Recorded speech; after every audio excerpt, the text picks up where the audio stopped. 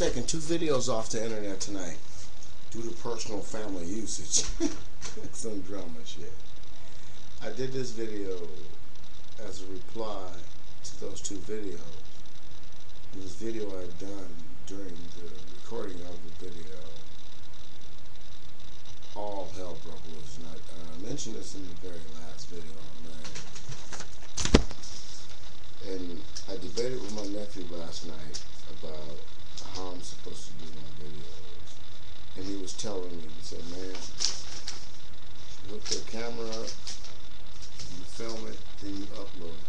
And then I tried to point out to my nephew that when I upload videos, I don't have six hours or four hours to have my video sitting there while it's scrutinize whether it's copywritten or not. And you see a man in front of the camera just like this Unless my hairline is copywritten, unless this painting is copywritten, unless this chair I'm sitting in, as you cannot see, is copywritten, there's no reason for it to take an hour or more to upload a 10 minute video. Back in the days when we had slower computers and we downloaded movies, you could download a two hour movie in four hours you couldn't watch them off the internet.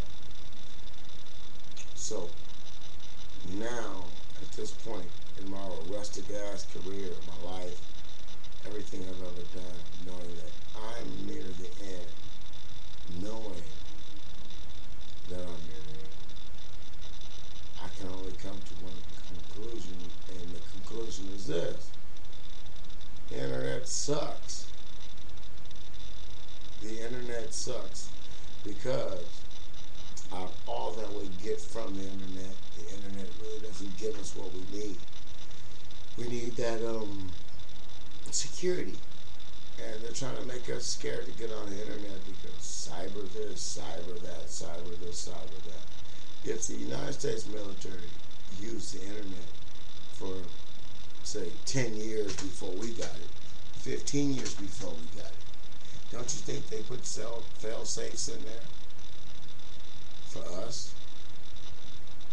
So we're all going to switch to digital. Maybe a digital signal can be beamed into the human head. I don't know. Maybe a digital signal can be manipulated to the point where it can carry other waves that can be penetrated through the TV, through the retina, what if changing the signal to digital is the cloaking device they need to flim flam us the rest of the way? Could you let him out, please? Because he's whining and crying, please. Let him run around the yard till he pass out and go to sleep.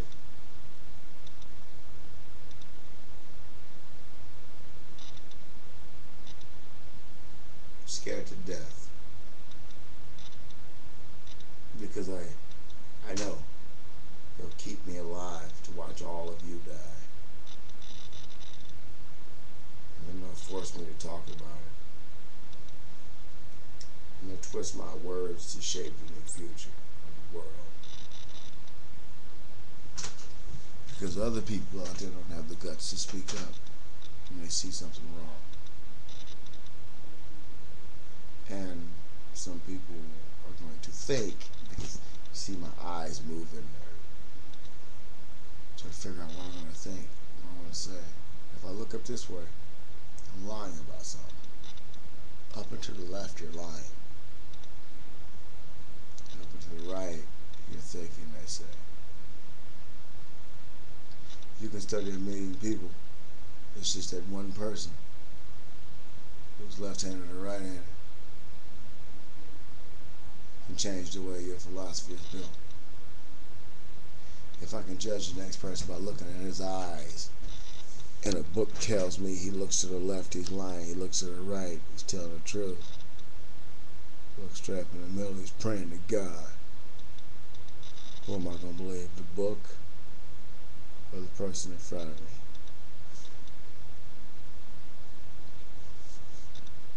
I'm not the most handsome man on planet Earth.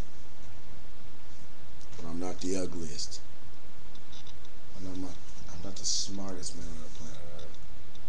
I'm not the dumbest. But what I am on the planet of the Earth that no other man can say right now. Because he ain't gonna say it till after I say it first.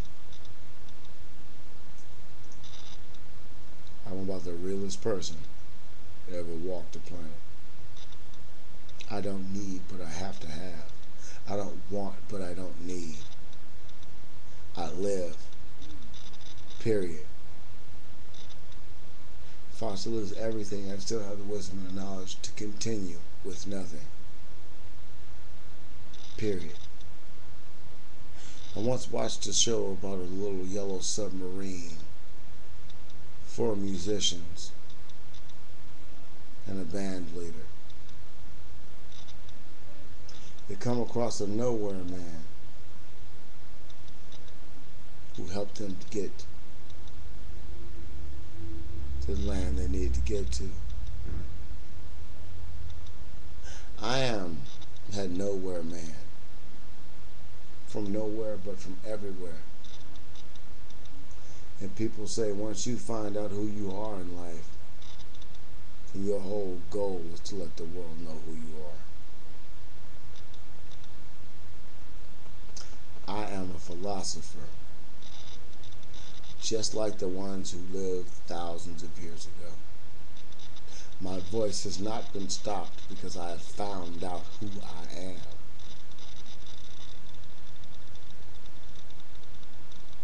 My mother once told me I can get you a book, but I can't make you read it.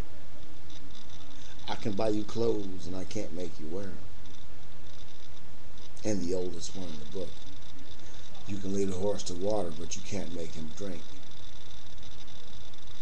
If knowledge is power, and I'm seeking all power, I will stop all others from having knowledge, thus giving myself all power.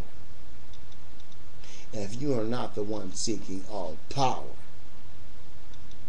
then you are the one that people are keeping power from.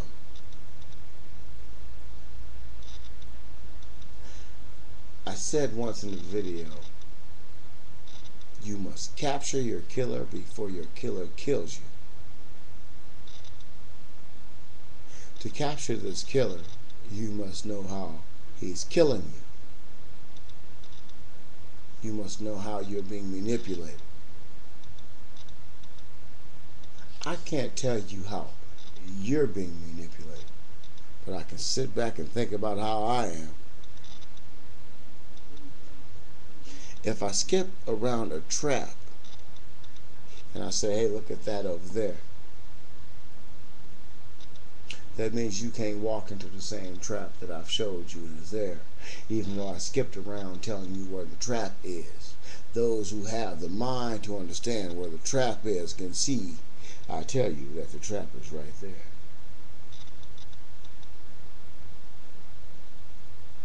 You turn the wheel on,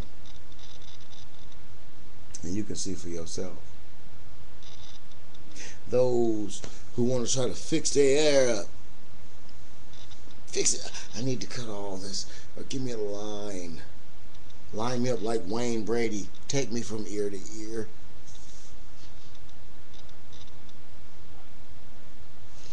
Basically, the bottom line is this. If you can't respect yourself to build a ramp to the future, you'll be jumping. I say you'll be jumping in the Grand Canyon. There's a hump that you can't dig under. There's something you can't fly over. And there's this one thing you have to go straight through. I can't tell you which one is in front of you, which one's below you, which one's beneath you, and which one's above you. But the one that is holding you back, you have to find it. Tell everybody about it. And then you tell them to pass it on.